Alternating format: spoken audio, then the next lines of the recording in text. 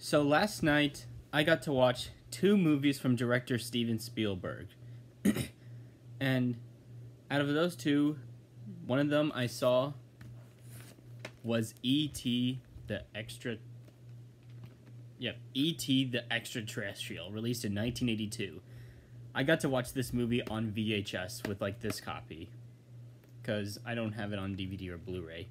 So I got to watch this the old school way or the skips way. now, um, the, I saw snippets of this movie back in 2017 when it was on Netflix in middle school, and now as a much more experienced person who, or as a, as as a person who has so much experience in film and like how director styles go, I really, really had a lot of fun with this movie. First thing I want to mention are the performances. That this movie is loaded with, with tons of great acting.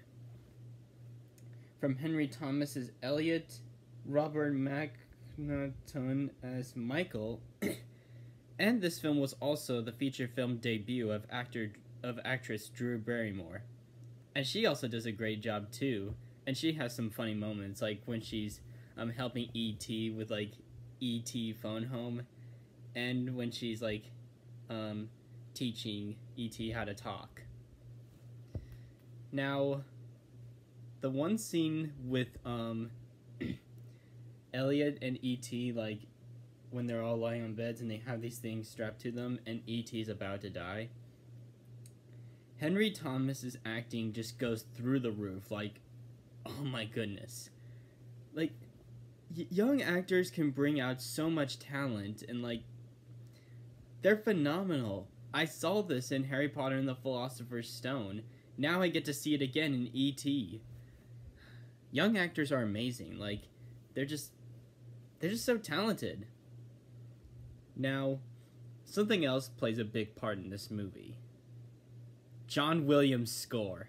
It is phenomenal. It's one of the best scores I've ever heard from the man. Like like just listen like I just once you get done with this, like if you haven't listened to the score, I want you to listen to the piece of music that played during the end credits. It just it like the way the music is presented, it's filled with imagination and makes you just want to be a kid again. And we also get some great moments too, like the bike chase, um, where they're escaping the police, and moments like that. Sometimes I'm just thinking, why can't we get movies like this nowadays? Movies that just make us want to be young again. Movies that are just creative. That's something that I feel like is missing in Hollywood today. Now, um, I the, now the reason I watched this and the other movie I'll review from Steven Spielberg is because we were supposed to um, learn about style, like how do the how is their directing like what's their style like how do they like move their camera in a way. Here's what I was able to analyze in ET. So, in the beginning and throughout some parts later in the movie, we see the we see this like person and they have these like the keys like around his pocket. I I, I knew like whenever he whenever there's a shot of like keys and stuff, you can tell it's gonna play a big part later on in the movie. And also the lighting, like um both this one and the other one and the other movie, they both like have some great lighting with um it's these things these like um um curtains or no, not not really curtains but